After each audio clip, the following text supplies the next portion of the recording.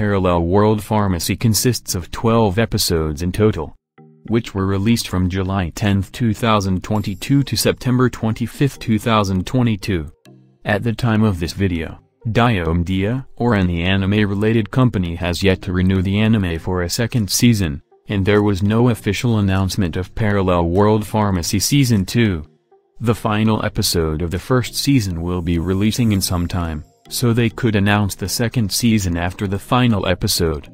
But still, the new seasons of animes depend on some main factors. Main factors such as popularity and light novel source material availability. Parallel World Pharmacy is a popular anime, and the rating on MyAnimeList is around 7.5, which is a good score for an anime. And I think after the final episode the rating may increase but nothing can be said for sure. The anime is adapted from a light novel series, and the good news is that the light novel is still ongoing. And at the time of this video there are 8 volume released. So that means there is plenty of source material available from making Parallel World Pharmacy Season 2. In the end, I would say that Studio Dia made a lot of anime. And if an anime is not performing well, or not making them profits then they could just drop the show. I would say there are 90% chance that the anime will get a second season.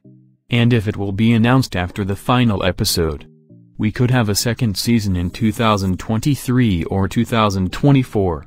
Thanks for watching, and subscribe for more anime news and updates, and I will see you in the next video.